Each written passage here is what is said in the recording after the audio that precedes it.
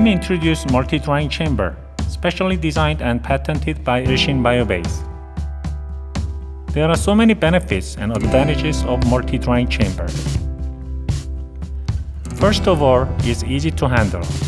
You can just place and put a transparent lid on the top. Entry part is inclined 70 degree, stable, safe, and easy to watch. No need of locking device, complete sealing is made, vacuum is protected during process. MDC is made of stainless steel.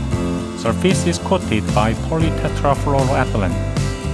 PTFE coating protects from corrosion by acid or any chemical substances, and it is easy to clean. Also, heating plate can be used as an option for better efficiency for freeze drying process. Secondly, you can use various containers for freeze drying. Vials, trays, petri dish, hampers, and flask. User can use different applications even at same batch.